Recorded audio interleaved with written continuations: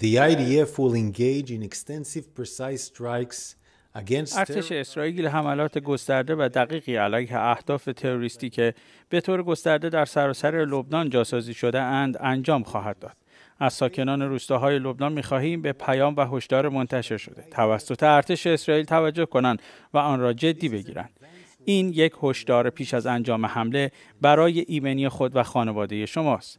به غیر نظامیان روستاهای لبنانی که در داخل و در کنار ساختمانها و مناطقی که حزب الله برای اهداف نظامی و نگهداری تسلیحات استفاده می کنند توصیه می کنیم فوراً برای امنیت خود از این مناطق خارج شوند.